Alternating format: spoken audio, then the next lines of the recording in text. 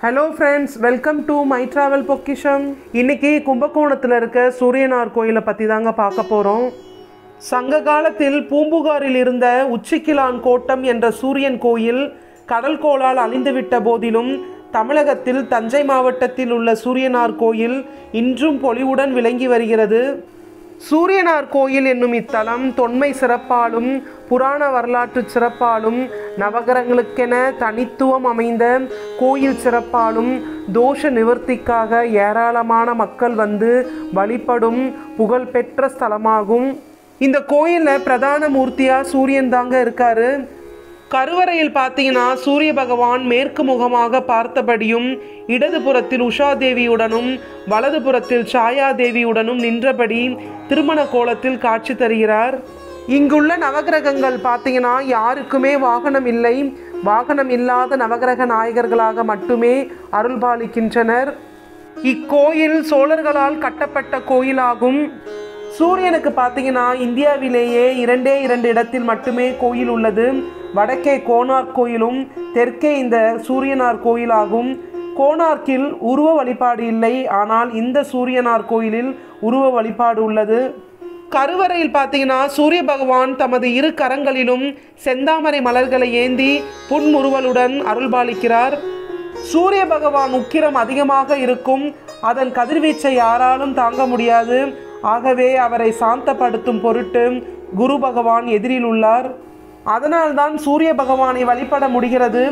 மேலும் சூரியனை நோக்கியபடி சூரியனின் வாகனமான குதிரை இருக்கிறது. சிவலிங்கத்திற்கு முன்பு நந்தி இருப்பது போல இங்கு குதிரை இருக்கிறது. இந்த கோயிலோட தலைவரலாறு பார்த்தீங்கன்னா காலவ முனிவர் என்பவருக்கு தொழுநோய் ஏற்பட்டது. தன் நோய் குணமடையும் வரம் வேண்டி நவகிரகங்களை வேண்டி வழிபட்டார். நவகிரக நாயகர்கள் அவர் கேட்டுக்கொண்டபடி வரமளித்தனர். இதனை அறிந்த பிரம்மதேவர் கோபம் கொண்டார். சிவபெருமானின் ஆணைப்படி எல்லா உயிர்களும் பாவ புண்ணிய பலன்களை மட்டுமே கொடுக்குமாறு கட்டளையிட்டிருந்தோம். ஆனால் நீங்கள் கீழ்ப்படியாமல் வரம் தரும் அளவுக்கு மீறி செயல்பட்டு விட்டீர்கள். எனவே நீங்கள் பூலோகத்தில் தொழுநோய் பிடித்து உழவீர்களாக என சாபமிட்டார். அதன்படி பூலோகத்தில் வெள்ளை எருக்கு வனத்தில் வந்து சிவபெருமானை நோக்கி கடும் தவம் இருந்தனர். அவர்கள் முன் சிவபெருமான் தோன்றி இத்தலம் உங்களுடைய தலமாக விளங்கும். பல்வகை துன்பங்களையும் பொறுத்து கொண்டு உங்களை வழிபடும் பக்தர்களுக்கு நீங்கள் அனுகிரகம் செய்வீர்களாக என அருளினார். என்று தல வரலாறு கூறுகிறது. சூரிய பகவானை சுற்றியுமே நவகிரகங்கள் தனித்தனி சன்னதியில் உள்ளன. இங்குள்ள நவகிரகங்கள் எல்லாமே அனுகிரகம் உள்ளதாக இருக்கிறது. நவகிரகங்கள் அனைத்தும் ஒரே இடத்தில் பார்க்கக்கூடியதும் நவகிரகமே மூலஸ்தனமாக அமைந்த கோயிலும் இது. மற்ற நவகிரகங்களின் தலத்தில் பரிவார தேவதைகளாக மட்டுமே உள்ளன. நவகிரக தலங்களில் சூரிய தலம் முதன்மையானது என்பதனால் இங்கு பக்தர்கள் பெருமளவில் வருகை புரிந்து தங்கள் பல்வேறு கஷ்டங்களை நீக்க பிரார்த்தனை செய்து கொள்கிறார்கள். இந்த கோயில் பார்த்தீங்கன்னா தோஷ நிவர்த்தி ஸ்தலமாக இருக்குங்க. இதுக்கு பக்தர்கள் என்ன பண்ணுறாங்கன்னா ஏழரை ஆண்டு சனி அஷ்டம சனி ஜென்ம சனியால் தொடரப்பட்டவர்கள் வேறு பிற நவகிரக தோஷம் உள்ளவர்கள் சூரியனார் கோயிலுக்கு வந்து பன்னிரண்டு ஞாயிற்றுக்கிழமை காலவரை தலவாசல் செய்து வழிபட வேண்டும். அதாவது குறிப்பிட்ட ஒரு ஞாயிற்றுக்கிழமை அதிகாலையிலிருந்து தொடர்ந்து பன்னிரெண்டாவது ஞாயிற்றுக்கிழமை முடிகின்ற வரை சுமார் இரண்டரை மாத காலம் எழுபத்தி எட்டு நாட்கள் இத்தலத்திலே தங்கியிருந்து நாள்தோறும் நவதீர்த்தங்களில் நீராடி உபவாசம் இருந்து திருமங்கலக்குடி பிராணநாதனை மங்கள நாயகியும் இத்தலத்தில் நாயகர்களை முறைப்படி வழிபட்டு வர வேண்டும். ஹரஹர நம பார்வதீபதகே ஹரஹர ஹர மகாதேவ. தென்னாடுடைய சிவனே போற்றி எந்நாட்டவர்க்கும் இறைவா போற்றி. திருக்கையிலாய பரம்பரை திருவாவடுதுறை ஆதீனத்திற்கு சொந்தமான அருள்மிகு சிவசூரிய பெருமான் திருக்கோயிலில் நம்ம இருக்கோம்.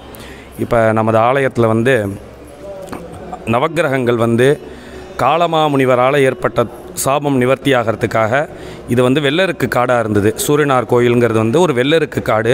அந்த வெள்ளருக்கு காட்டில் தங்கி இங்கே பக்கத்தில் இருக்கக்கூடிய திருமாந்துறை திருமங்கலக்குடி என்று சொல்லக்கூடிய இரண்டு சிவாலயங்களில் உள்ள சுவாமியையும் பூஜை பண்ணதாக ஐதீகம். இங்கே பூஜை பண்ணி அவளுக்கு ஏற்பட்ட தோஷங்கள் நிவர்த்தியாகி உடம்பில் இருக்கிற தொழுநோய்கள்லாம் நிவர்த்தியானதாக ஐதீகம். இந்த கோவிலில் வந்து சுவாமியை பிரார்த்தனை பண்ணிட்டோம்னா சூரியனுக்கு உண்டான பித்ரு தோஷங்கள்னு சொல்லுவாங்க. முன்னோர்கள் செய்த பாவங்கள் பித்ரு சம்பந்தமான தோஷங்கள் எல்லாம் நிவர்த்தியாகிறதா ஐதீகம். அது மாதிரி கண் சம்பந்தமான வியாதிகள்லாம் குணமாகிறதா ஐதீகம். இந்த நவகிரக நவக்கிரக கோயில்கள் எல்லா கோயில்லையும் பார்த்தேன்னா சிவன் தான் மூலஸ்தானமாக இருப்பார். அதாவது ராஜகோபுரத்துக்கு நேர் எதிராக பார்த்தேன்னா சிவபெருமான் இருப்பார். நவக்கிரகங்களுக்கு உள்ள சன்னதி வந்து சைடில் தனியாக இருக்கும். இந்த ஆலயத்தில் மட்டும் பார்த்திங்கன்னா மூலஸ்தானமே சூரியன் தான். வேர்ல்டில் எங்கே வேறு எங்கேயுமே பார்க்க முடியாது. பழமையான சிவா நவக்கிரக ஆலயங்களில் மூலஸ்தானம் சூரியனாக உள்ளது இந்த கோயிலில் மட்டும்தான்.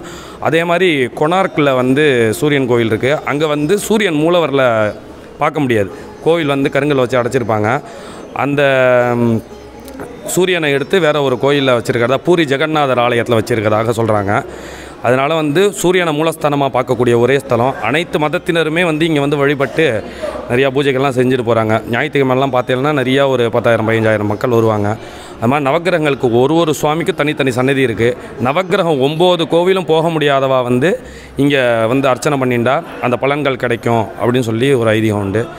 எல்லா நவக்கிரகங்களை பிரார்த்தனை பண்ணிக்கோங்க. எல்லாம் சௌக்கியமாக சந்தோஷமாக இருக்கும் ஜாதகத்தில் சூரிய திசை சூரிய புத்தி சூரிய பார்வை சூரிய தோஷங்கள் உள்ளவர்கள் இங்கு வந்து ஞாயிறு தோறும் வழிபடுகின்றனர். தமிழ்நாடு மட்டும் இல்லாமல் எல்லா மாநிலங்களிலிருந்தும் பக்தர்கள் வருவதனால் இது பரிகார ஸ்தலம் என்பதனால் ரொம்பவே கூட்டம் இருக்குங்க.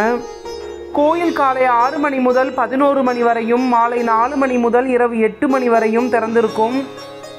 ஓகே ஃப்ரெண்ட்ஸ் இந்த வீடியோ உங்களுக்கு பிடிச்சிருந்ததுன்னா லைக் பண்ணுங்கள் ஷேர் பண்ணுங்கள் இந்த மாதிரி பயனுள்ள தகவல்கள் தெரியணும்னா நம்ம சேனலை சப்ஸ்கிரைப் பண்ணிக்கோங்க. நெக்ஸ்ட் வீடியோவில் பார்க்கலாம். நன்றி வணக்கம்.